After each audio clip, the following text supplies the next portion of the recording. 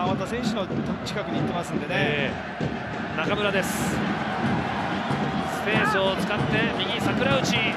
ラストパスが来ます。川田ジュビロ先制。素晴らしい形ですね。ピンポイントでした。まあ非常にこうボールをねシンプルに動かしながらここでやっぱり中村選手がこううまく引き継ぎましたよね、えー、これでワントラップして狙い通りに上げられますのでね。